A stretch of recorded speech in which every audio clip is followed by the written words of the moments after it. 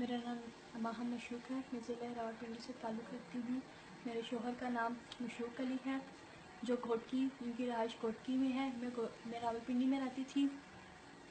मेरे माँ बाप मेरे माँ बाप मेरा रिश्ता नहीं करना चाहते थे मशूक अली के साथ, इसलिए मुझे ये स्टेप उठाना पड़ा। मैं मैं अकेल हूँ, मैं बाली हूँ, मैं अपना अपना मुझे पूरा हक है अपनी लाइफ अपने तरीके से गुजारने का। मैंने जो भी किया, अपनी मर्ज़ी से किया, ना मुझे किसी ने दबाव डाला है ना मुझ पर किसी ने कोई प्रेशर किया है और ना ही मैं अगवा आई हूँ। जबकि मेरे माँ बाप झूठ बोल रहे हैं कि मैं अगवा आई हूँ और मैं अगवा नहीं हुई हूँ।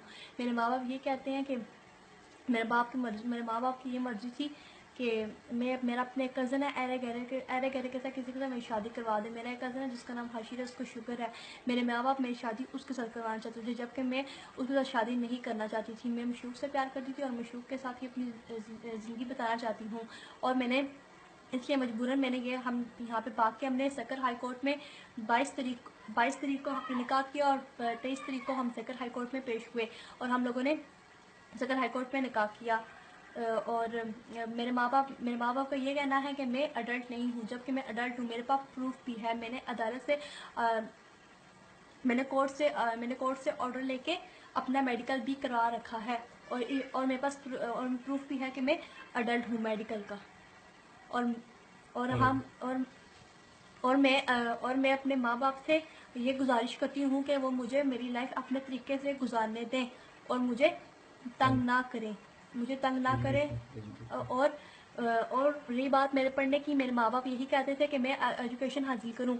और एजुकेशन हासिल करूँ, और रही बात मेरी एजुकेशन की तो मेरे मियाँ भी यही चाहते हैं कि मैं एजुकेशन हासिल करूँ। और मेरा भी यही है मेरा भी यही कहना है कि मैं एजुकेशन हासिल करूँ। मेरी भी, मेरा भी यही ख्वाब है। तो मेरे मियाँ मेरे मियाँ, इंशाल्लाह ज़रूर उन्होंने भी कहा है कि मैं पढ़ूँगी। और और मेरे और हम अगर मैं अगर मेरे माँ बाप मेरे माँ बाप हमसे राजीनामा नहीं कर रहे हैं हम वो हम हमें पंजाब जाने से खतरा है मेरे चाचू और मेरे माँ बाप से हमें खतरा है इस वजह से हम पंजाब में नहीं जा रहे हैं मजबूरन हमें मुझे सिंध में ही रहना पड़ेगा अभी। और मैं मैं मैं वीडियो रिकॉर्ड इसलिए करवाया है ताकि हमें आ, हमें तहफ़ बहम किया जाए।